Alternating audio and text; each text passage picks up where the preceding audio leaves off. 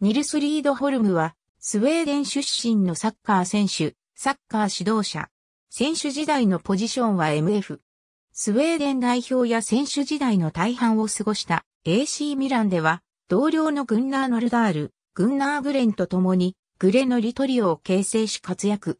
現役引退後には指導者としても成功を収めた。リードホルムは1942年に IK、スレープニルで選手キャリアをスタートさせる。1946年からは、イフックノーショーピングへ移籍し、2度のリーグ制覇に貢献した。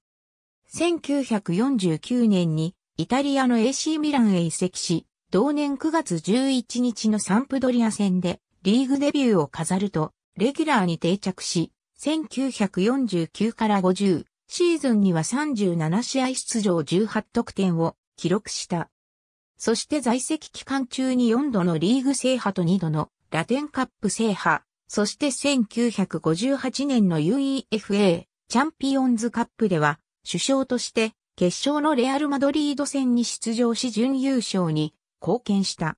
リードホルムはグンナー・ノルダールの得点の多くをアシストした。またフィジカルトレーニングの重要性を理解していた初の選手の一人であった。そのため、練習時間の中で他の選手よりも多くの時間をフィジカルトレーニングに費やした。また週に2回は100メートル走、3000メートル走、投げやり、砲丸投げと高跳びを行ったという。このことが40歳近くまで現役を続けることができた要因となった。スウェーデン代表としては1946年に代表デビューを飾り、1948年のロンドンオリンピック金メダル獲得に貢献。1958年の FIFA ワールドカップスウェーデン大会では首相として大会に挑み、同国の決勝進出に貢献した。決勝のブラジル戦では前半4分に先制点を決めたが、ブラジルの反撃もあり2から5で敗れた。現役引退後は指導者の道へ進み、古巣の AC ミランやフィオレンティーナで監督を務めた。